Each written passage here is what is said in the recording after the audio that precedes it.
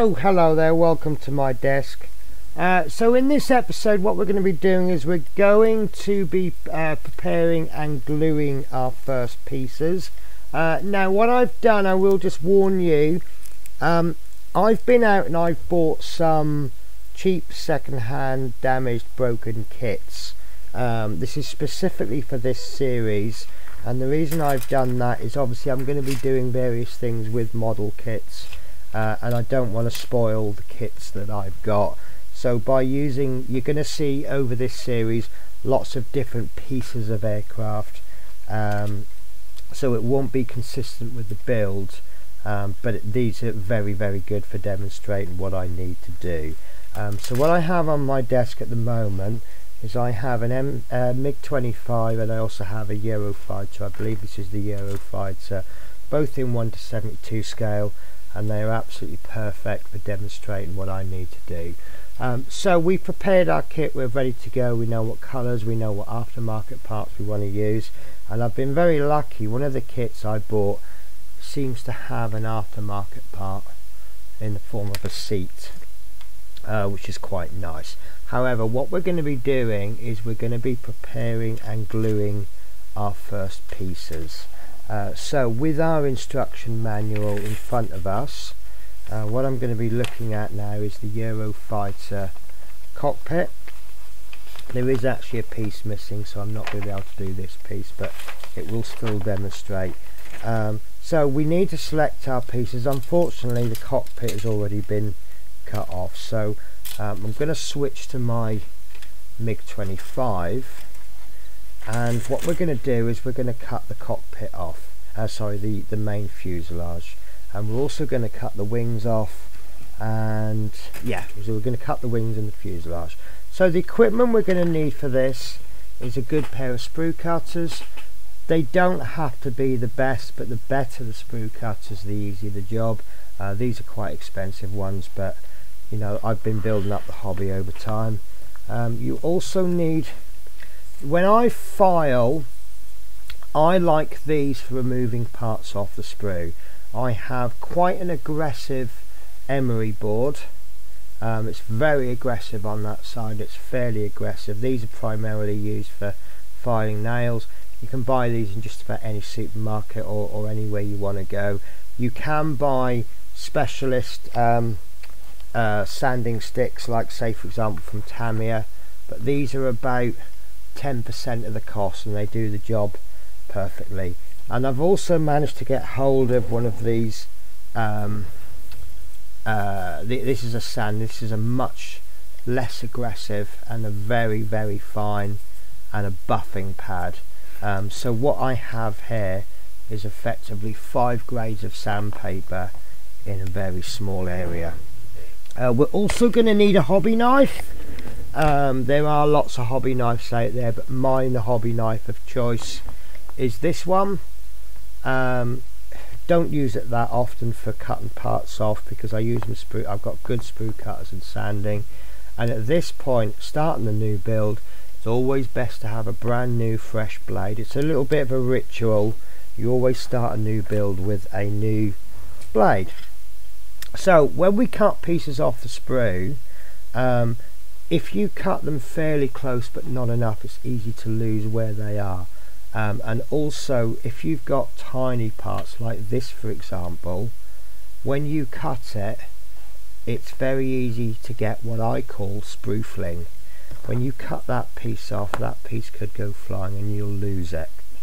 So when I cut pieces off a sprue I cut them long. So you see we've got a sprue bit there and what I'm going to do with my cutters facing away I'm going to cut that. You see I've cut that long. So where you want the cut to be you have the flat edge of your sprue cutters and I cut that long cut that long and then I can see that this one piece of branch attaches two pieces of uh, fuselage so I'm going to move on to the next piece. Clip clip clip and then what I'm going to do is I'm going to cut the actual sprue arm there. And that's going to give me two pieces of fuselage. So I'm now going to make my first closer cut. Now with my first basically you want to general rule of thumb the flat part of your sprue cutters is always facing the part that you do not want to damage. So you see I've got the flat part there and then we're just going to bring those in like that. You see? And I'm going to cut that there. Now if these sprue cutters are very very good which these are you can see I've got a very very small nub and also what I've got is I've got some markers there to tell me where the other bits are. So it's this is too much because of how long that is but if that was a long let in fact tell you what let's let's do this one then let's go on to another one. So what I'm going to do is I'm just going to file that down. And then I'm going to switch to a finer grade. This is actually not a very good kit to be honest with you but just notice I use my thumb a lot and that's because I'm feeling it. Can I feel that sprue nub no I can't. I'm happy with that. Now I know that you can see it but the most important bit there we go I think there's a little tiny bit just poking up. It's not important that you can see it, it's important that it's not going to add a profile to the model there we go. I'm happy with that. Right. So what we're going to do now is we're going to cut this as though the sprue cutters aren't as good. Do you know what? Ignore what I'm doing here. Right. So we've cut our sprue and this is this is over exaggerated we see that the sprue cutters haven't been able to cut quite so close to the model. So this is now when we switch to our knife and we can just bring our knife in. You notice I've put the actual piece that I'm cutting flat on the table. This is so that I don't break any other parts while I'm cutting. And I'm sorry the camera can't get in and I'm just going to trim that off. Another way you could trim. Now all the manuals in the world will tell you always cut away from yourself. This is a safety knife and one thing I've noticed with this knife is that if I'm holding the part to cut there with my thumb there and I'm using the base of the blade. Can you see that if I cut like this and I slit the knife is going to go into my thumb? Because I'm cutting like this if I should slip you see the base of the knife is going to go into my thumb and no damage? And we're just going to now we're not aiming to cut that in one one bit. We're aiming to just trim a little bit off and then we trim a bit more off try to keep the knife level with the parts. And we just keep trimming slight bits off there until it's almost there. So there we go. So then we will finish that off with our sandpaper. Now you'll see there's a little tab there. You do need to be looking at the model and look at the other side as well and it looks to me that that tab might exist to go into do you know what? It doesn't. It is meant to come off. So I've checked that tab before I've cut it off. That tab might actually have been a, a, a male connector but it turns out it isn't. So now I can cut this off. And I just want to say something else about a knife I see a lot of people cutting and they cut like this. That is not how a knife works. A knife doesn't work by pushing down. A knife actually works better as a sawing action. So always turn your knife at an angle to what you want to cut and then bring it down slowly and can you see it forces a, a sawing action I'll show you on this piece here so when we cut this off we that's actually too hot too big to cut but um, so if we cut like this you see it's got through half of that no problems. So then we'll make another cut and that's how we cut with a knife. If we were to cut directly downwards. See how much more difficult that was? That was actually quite difficult but if we move it at an angle like so if I was cutting through my finger I would be cutting like that not like that. So I've lost all my sprue nubs now. So again little bit of a file with the aggressive sandpaper we're coming in almost there then we just bring the grade down a little bit this is a much finer grade. And then a much finer grade just to finish it off. And that looks fine. And the piece there is fine. I think we've just done this. I just shot a piece of piece of the model on the floor. Right, and then there's the last one. I might just want to trim that with a knife. There we go.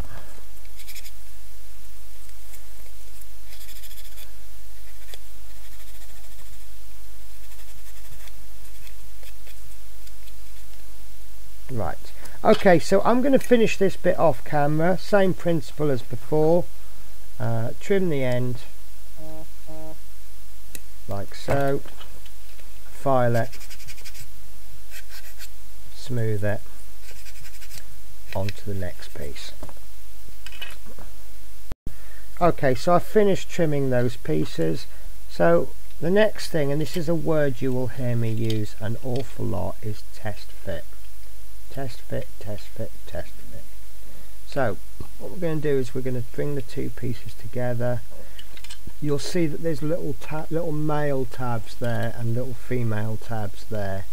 So we, we use those to help us line the part up. So we can put that one in there.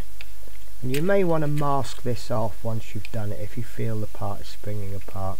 But then find the next male part, male and female port, and bring the parts together and I can see that that's going to give me a lot of trouble but it seems that the parts but there we go. I think maybe I haven't trimmed this well enough on the nose and that's fine. This is exactly why we test fit. I think I'm going to have to cut that off because there's a little nub there and it looks like it's meant to be there. But once you test fit you can see that it's not meant to be there. So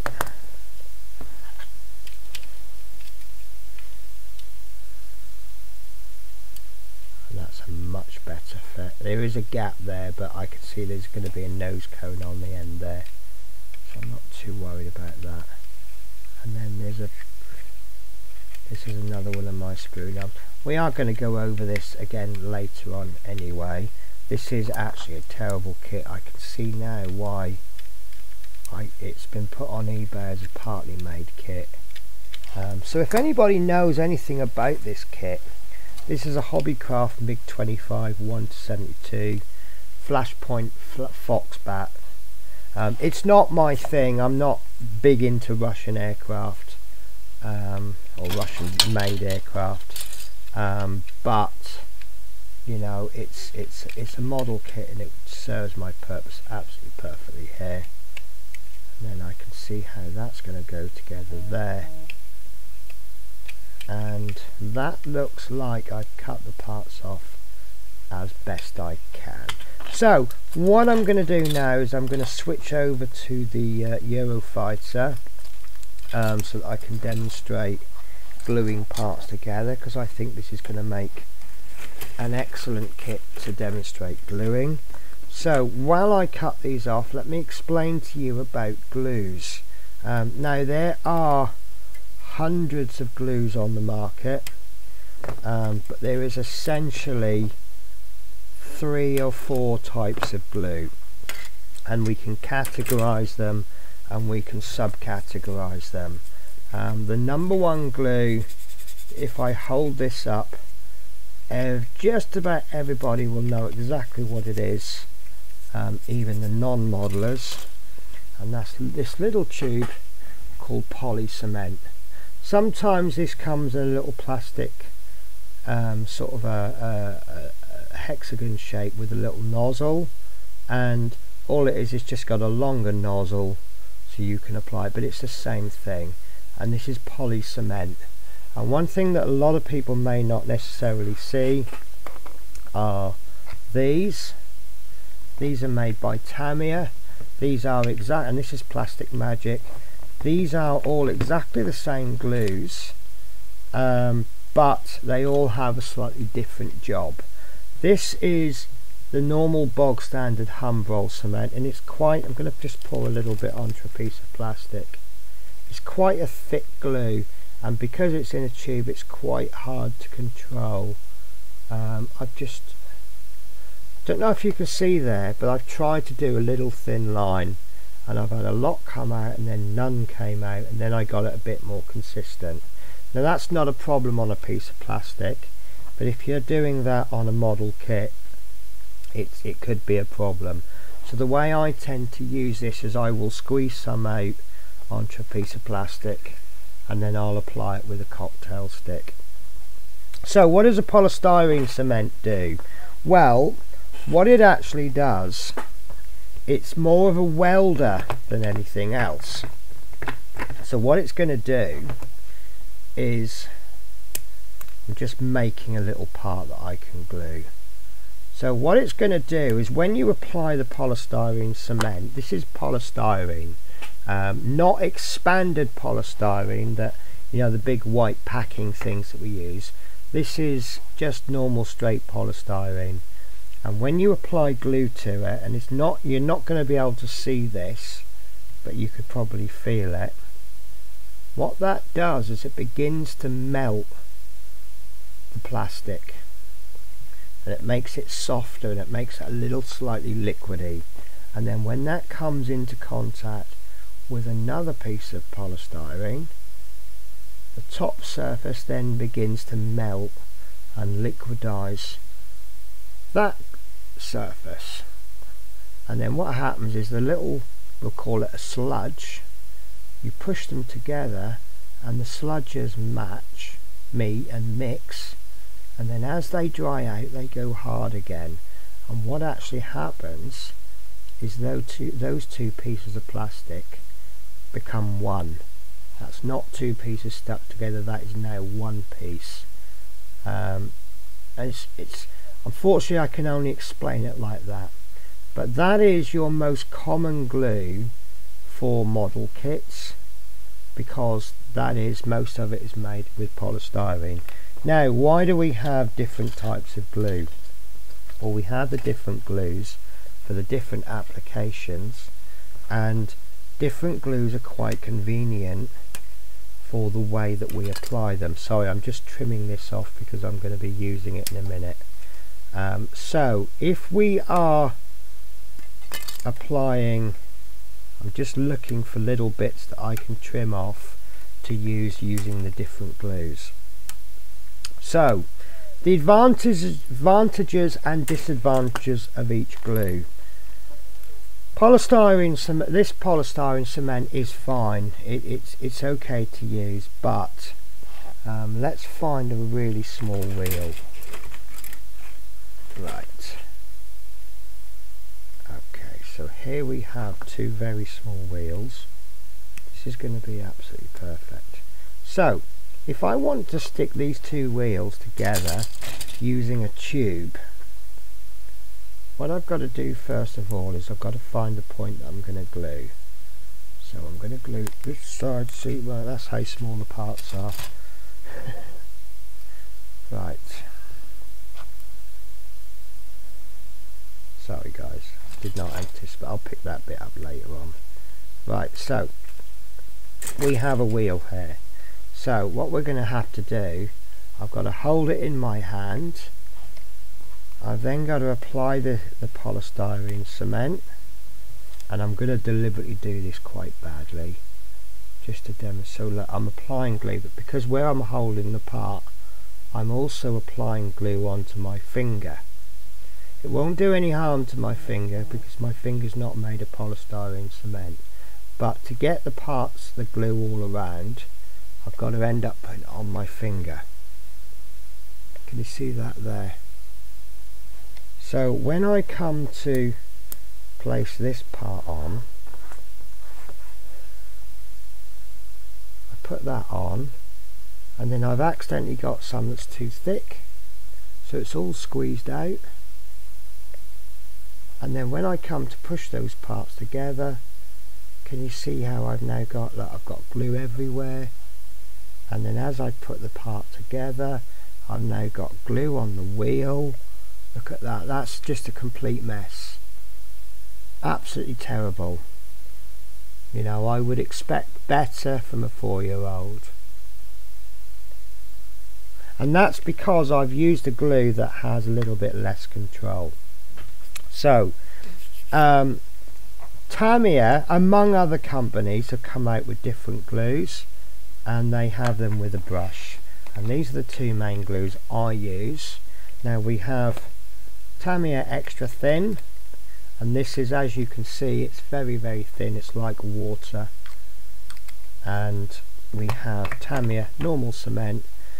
This looks like water in the jar but it's actually quite thick. Let me find my little piece of sprue. And can you see how that's quite thick? It looks like a gloss varnish and it's nice and thick and shiny. But do you also notice it's slow drying? It's, it's taking its time to dry. Whereas if we apply Tamiya extra thin let's find the back of it.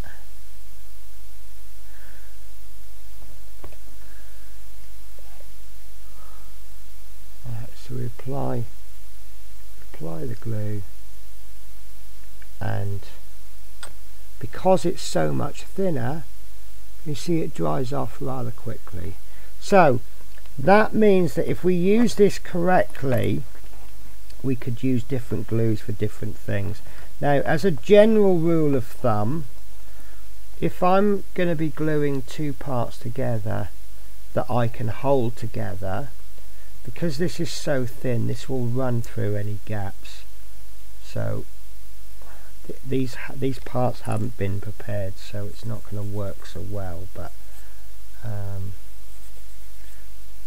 so I'm holding the two parts together and then with my Tamiya extra thin can you see where the gap is with the with the wheels? What I'm going to do is I'm going to just touch in there. Don't know if you're able to see that probably not. So what happens is the glue runs in through the gap. Now that is glued but it's not been glued on the other side. It's been just glued enough. So now I can just turn that around. And I can just finish it off. So we just run the glue with the brush.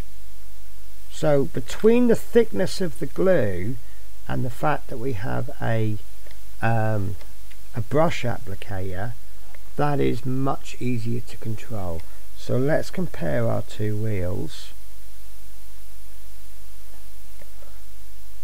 Can you see how that is so much more neat and tidy than the tube glue? And yes I did purposely make a mess on that but it just goes to show the difference. Now when I'm using this glue as a general rule of thumb where you can't bring the parts together um, th this actually we can but um, can you see that I'm not going to be able to get underneath the seat very easily? So what I will do I can see a point of contact on the seat. So what I'll do is I'll use my normal Tamiya or my normal glue which is a little bit slower drying and then I can just apply that exactly. Um, equally you could apply polystyrene cement with a cocktail stick and then that will stay wet for a little bit longer and then I can bring the part onto there like so. Voila.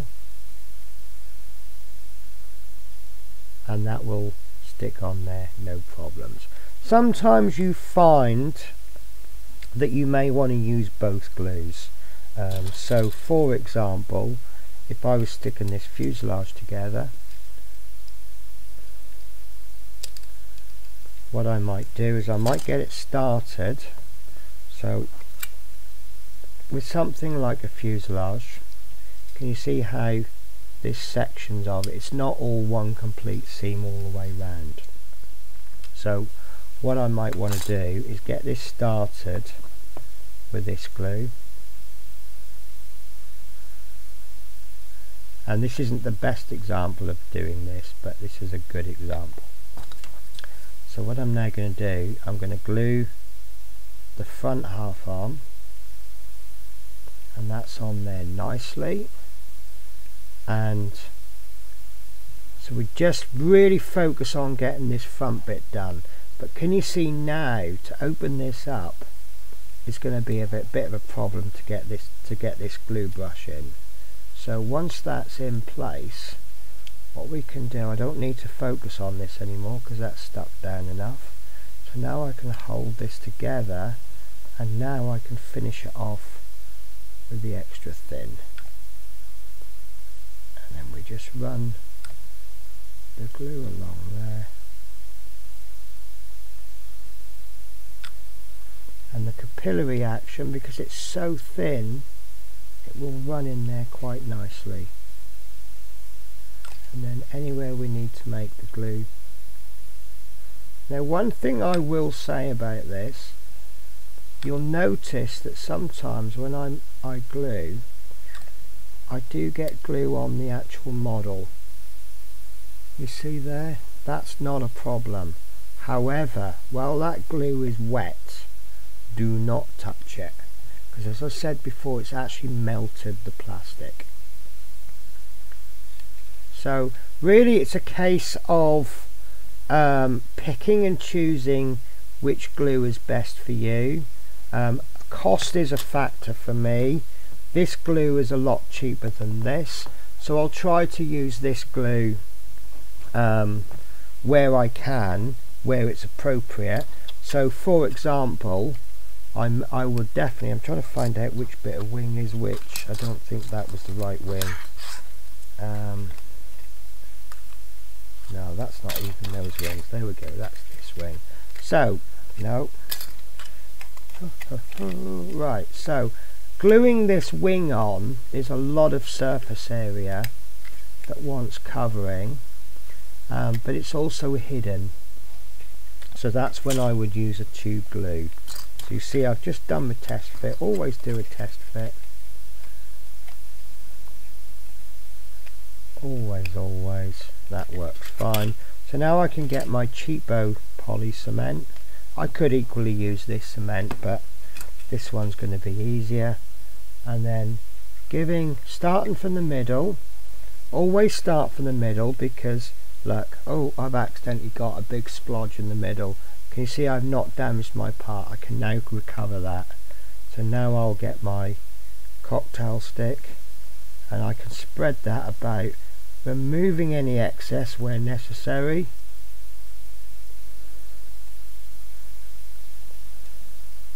And then we'll spread that. And because this is a fairly slow drying cement we've got lots of working time. And what I like to do with with a part like this I like to go almost to the edge. And that will do two things you see I'm almost to the edge but not right up to it. Because when you place the wing on it's going to squeeze that glue as as I often say glue squidge. Right so so even though I made a mistake on there and that that's not the right part of the wing so when I place this glue on uh, this wing on bring it in and then one other piece of equipment you will need I think you will need especially when you're gluing large flat parts is masking tape. Uh, this is Tamiya tape but you don't have to use Tamiya tape. Just use whatever whatever masking tape is your preference. And I like to just mask that in place. Any points that are going to need attention. And I've just realised one other thing I haven't mentioned. Always use glues in a well ventilated area because they do whiff. Especially this um, Tamiya in a bottle. There we go. So that's our wing on. Um, our Tamiya in a bottle has makes a very good point of writing poison on it obviously the poison refers to the drinking but um, obviously equally it could refer to the fumes as well. This this says flammable but it doesn't say poison but um, but I wouldn't want to go around drinking these anyway. So on that side I deliberately made a mistake um, by accidentally squeezing too much glue um, and this is why it's just showing you why we go in the corner and then this side again I'm going to sorry we start in the middle not in the corner. So we're starting in the middle and we're just building up a consistent consistent amount coming out of the bottle and then fill the rest in. And that's probably a really good application there. I'm actually really happy with that so we'll pop that on the other side. Uh, it's that way. Why did I struggle with that?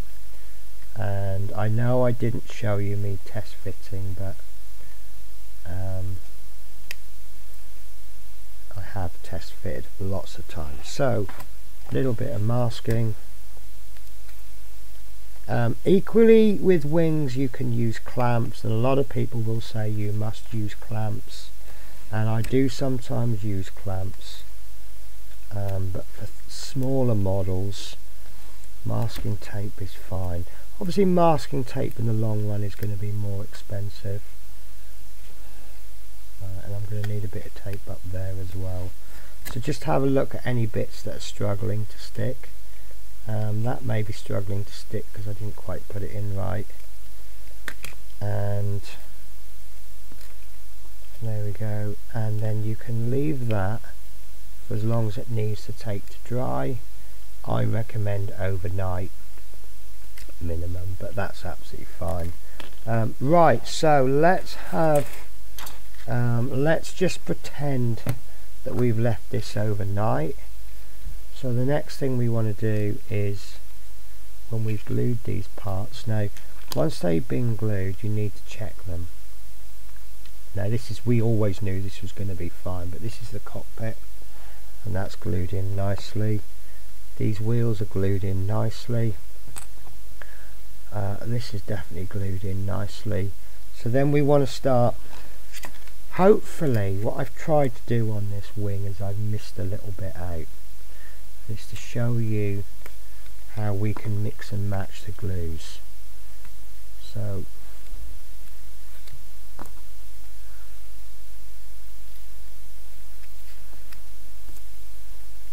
right exactly. Right so we've got a bit of a gap there it hasn't quite stuck properly. So what we're going to do is we're now going to get our extra thin or if you're very careful we can get some poly cement with a cocktail stick and we can just open that part up a little bit. Can you, can you see it? That's been badly badly glued. So we can just open that up gently and then we can just run a bit of glue in there and bring that back. And that'll be fine. Or if you've got something like extra uh, extra thin Tamiya all you need to do is just run. Oh I, I don't think you caught that but that demonstrates the way that the extra thin works perfectly. Right so hopefully this stays in focus no that didn't didn't do it as well there we go. Did you see that? So as I touched the glue it just went and that ran into there lovely. That do you see it run down the side there? I mean that's that's not the bit we were trying to glue but it just demonstrated it perfectly. So what we can now do is run this is why I'm preferring the extra thin because we can run our glue along all of these lines and there's one there. And then obviously I want to mask those up again. Um, so you're not stuck with one glue. Once you've decided to use polystyrene cement you're not stuck with it. Um, so we can use um, you know start off with poly cement and then finish it off with extra thin. And that's absolutely fine. So I'm just going to pop I'm going to be a bit stingy. I'm going to reuse these masking tapes right so that is polystyrene cement. Um, and I'm going to show you another glue. And uh, the other glue that we use is sometimes we need to glue together parts that are not polystyrene cement. For example we may be gluing photo etch parts to models. So for that if I can find it because it's gone missing. We use super glue. There we are. Now my super glue of choice so I'm going to have to move my camera. Um, I have drawers with various things in um, and I have to it's in the way of the camera so I have to move the camera to get to the drawer.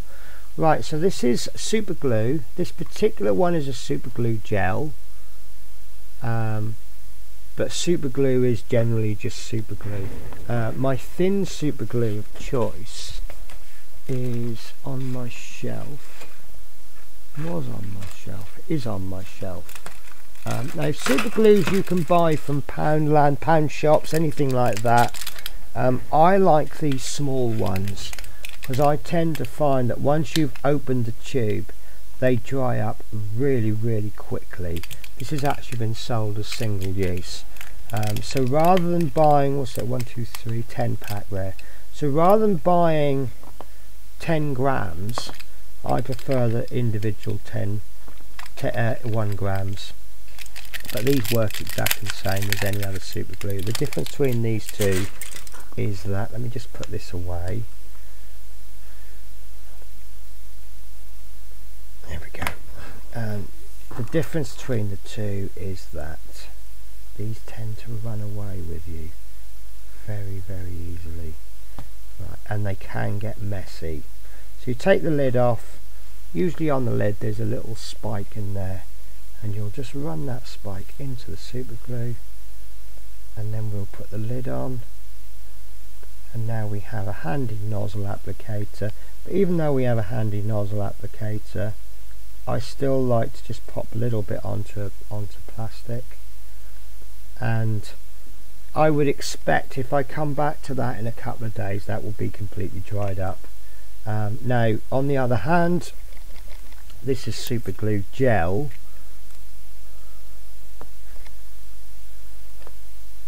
Don't tell me it's run out, it's a brand new bottle. Do you have to shake this? Right, there we go. So this is much thicker and I don't know if you'll be able to see this. So we have the pile, we have thin there and thick there. Now if I, can you see how thin that is? Now thin does have its uses, but I do prefer uh, thick. Now, super glue doesn't do anything to the actual plastic. Um, all it does is so let's just pretend for the sake of this video that this is made of metal.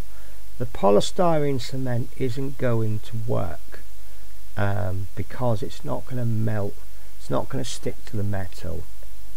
So with things like photo etch parts we need to apply super glue. And what super glue does is it creates a film that sticks to that end and the other side of the film sticks to um, the other side. And the when we apply the super glue and in this case there's not any difference between thick or thin but I'm going to apply a little bit of thin onto here. And this is hopefully going to demonstrate perfectly the difference. So all it's doing is creating a bond between the two and it's the best way to describe it is if you have two people that are deeply in love and they are hugging each other and they're embracing each other their arms are around each other and they are actually merged as one. If however they have a child they're walking down the road with a child in the middle one's holding the hand of one child one's holding the hand of the other child. They are still one unit. Now the first example where they're embracing each other that's going to be really hard to separate. And if I can find the piece that I glued earlier there we are. This isn't fully cured so this might not work but if I remove these pieces it actually that didn't demonstrate but quite often what you find is when you break these two pieces they won't break at the, where the glue is. They will actually break where the plastic is. It will always break at the weakest point. Yeah it's because they're not fully cured. Now super glue can you see that that is fully that's that's stuck? Now that can still be broken which is not going to do on this. Right can you see that it broke where the super glue was? It's the super glue that came away. Now there is there is damage to the parts in the sense that there is super glue residue on there but the parts are still okay they can still be salvaged if I'd have stuck that with um, plastic magic Tamiya cement or polystyrene cement it would actually have damaged the parts. So glue is only a bond. Um, it, it just holds the two parts together. So there we go that's the super glue. Now the third glue that we'll use quite commonly and I don't have any in its basic form and that's PVA glue I do have it in the form of micro crystal clear um, I didn't realize when I bought this that this is this is essentially PVA glue. So I've spent six pounds on a little tub of one fluid ounce when I could buy like a litre for about four or five pounds. Um, now when do we use PVA glue? Well we use PVA glue for mainly for parts that we want to attach temporarily and also for canopies. I don't think this is the right or maybe it is. So um, has anybody seen these crime busting programs like CSI um, where they want to get fingerprints off plastic bags and what they do is they put they put the bag in a box uh, like a incubator type box and they put loads of super glue in the bottom and they heat it up and the fumes come up and the fumes stick to the fingerprint the grease on the fingerprint and you can get an absolute perfect fingerprint match that is exactly what superglue will do. Superglue gives off fumes.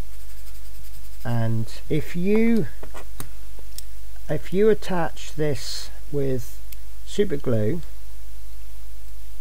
it will give off fumes. Your canopy will cloud up and it will look absolutely terrible. Equally, if you use polystyrene cement again you could have the same problem so the way around that is that we use PVA glue or in this case microcrystal clear and it's applied in exactly the same way. It doesn't give off fumes. It isn't going to damage your your part. And although this is a white glue this will actually dry crystal clear and you won't even know it's there. And there we go. There's, there's our third glue. Now that will take quite a while to dry. And you see there I've got a little bit of a splodge. That's absolutely fine because super glue is water soluble. So once that's glued on there I haven't put enough glue and I haven't got a good fit. Right.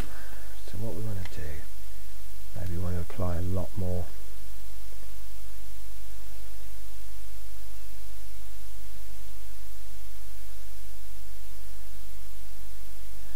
right so we, we can put lots and lots of that glue on. And we can apply it. And it will fill holes. And there we go. And then any excess we can wipe off with a cotton bud. That's an ill fit that's either an ill-fitting part or I have put the wrong canopy on. Because I don't think I've put the wrong canopy on that is an absolutely terrible fit. I can see why. Yeah that's definitely not that one.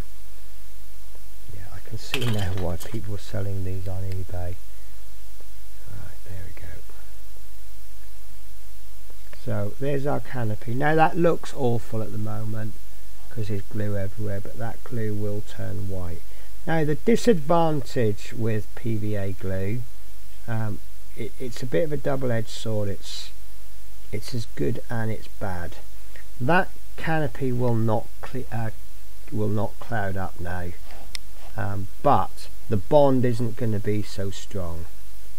So quite often people will use PVA glue uh, maybe for attaching wings or things if they're going to be taking their models to shows um, undercarriage things like that. Um, when you transport a model any bits that are sticking out there's always a chance that um,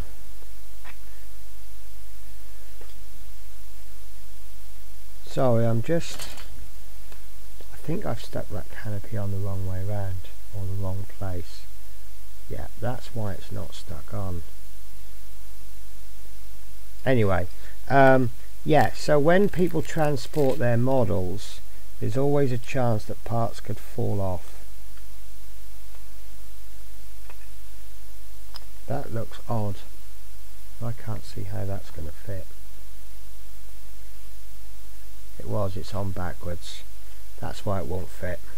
Right so again but then again can you see that I I've took that off and I've stuck that back on? So um, that's the great thing about PVA being so so slow to dry. Um, so yeah when you transport models you've got little bits that stick out canopies wings um, and they're easy to knock off.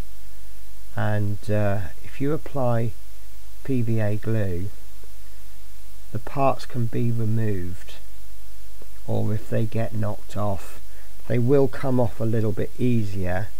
But then all you need to do is just apply a little bit of PVA glue pop on give that a few hours that will go clear. And then there's your canopy back on. And then um, so another time you might want to use it is if you're not actually sure if that's the option you want. Do I want that canopy open or closed? Well at the moment it's closed. But if I decide actually I don't like that I want it open I can now remove it look can you see that you've got all that stringiness? Look. Well that's actually easy to remove. Look I just wipe it. It's exactly the same as PVA glue. Um, and that's basically what it is. Um, in fact I feel that I'm sure this isn't the exact same formula as PVA glue but I kind of feel a bit robbed by buying that right so I've kind of gone a little bit off track and back on and off track a bit um, but essentially there's three kinds of glues. There is a fourth kind of glue that I don't use very often and that's um, uh, epoxy putty epoxy resin. Um, it's a two part resin. I think I'll do a separate video on it in the future because it's used for, for uh, resin parts um, again just like um, uh, super glue sorry polystyrene cement doesn't work on resin because resin isn't polystyrene. So again you, so if you bought an aftermarket part um, let's say this was an aftermarket cockpit you can't attach that and that won't stay in in there because the polystyrene won't affect the resin. So you normally use a two-part epoxy glue it in. Five minutes it's stuck in but then you want to cure it overnight. So that is that is it guys. That is everything. So we have been cutting pieces off the sprue. We've been gluing them together. And then in the next video I will remove that and I will remove it on camera so you can show how weak but also useful. I mean look, that's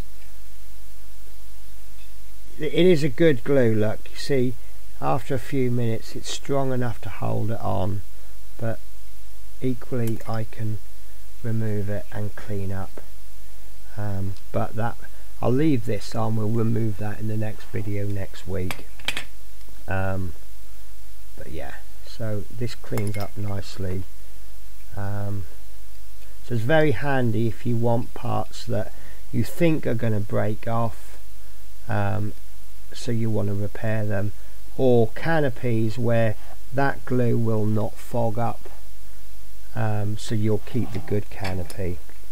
Um, we've also got our wing and this is going to come in useful in later videos. Um, so I think and yes I am aware that I haven't put the cockpit in and that is done on purpose um, because I want to deal with cockpits in another video but that's not a little bad little model really is it? I wasn't interested in that but I bought it because it was you know it's a kit that's been broken. Um, but actually now that I've got the wings and the fuselage on I'm thinking that's quite nice. So you may see a Eurofighter coming to my channel at some point in the future. Right guys so that's it for me for this video. Uh, thank you very much for watching. I'm now going to put all these bits away and then uh, hopefully I'll catch you in another video take care guys. Bye bye